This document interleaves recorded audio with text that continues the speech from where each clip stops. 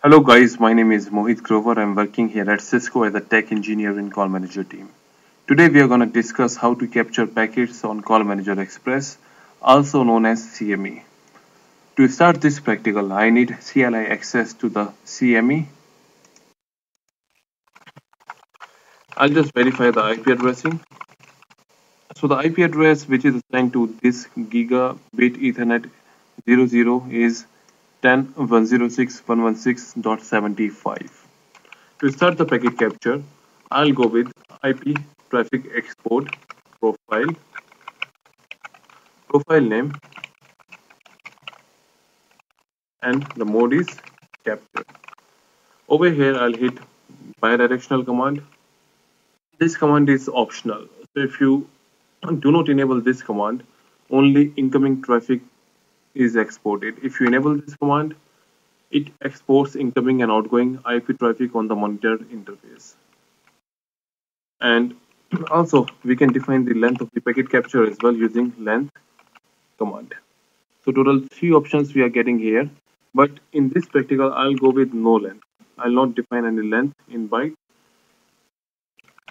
As soon as it is done you can exit out and now we will enable this profile or apply this profile inside the interface. The interface on which we are going to capture packet is gigabit ethernet 00 i'll just go into this interface and now i'll go with ip traffic export apply and the profile name. This is a profile name which is capture underscore profile over here and the size is 7 mm, lines as soon as I apply this profile under this interface, now I need to start the packet capture. To start the packet capture, what I'll do is I'll just go with traffic export interface interface gig 00. First I'll clear the buffer, which is a recommended practice. And now I'll start the packet capture. As soon as I hit enter, the packet capture has been started. To analyze or you know check whether the packet capture is running or not. What i'll do is i'll just open up a remote session to the remote machine verify the ip address which is assigned to the remote machine and the ip address assigned to the remote machine is dot 73 i'll initiate a ping from here 10 106 dot 75 dot 75 is the ip address which is assigned to the cme gig 00 interface. As soon as i hit enter we can see the IP address is reachable and now I'll go ahead and stop the packet capture on the CME. To stop the packet capture I can just replace it start with stop and then hit enter. Now packet capture is there in the buffer. I need to transfer it. So to transfer it you can either transfer it to the SFTP server, FTP server or you can copy it to the flash. So first I'll just go ahead and replace stop command with the copy and then I'll go with flash xyz dot pcap. xyz is a file name, pcap is the extension, packet capture, flash is the location. I'll just hit enter.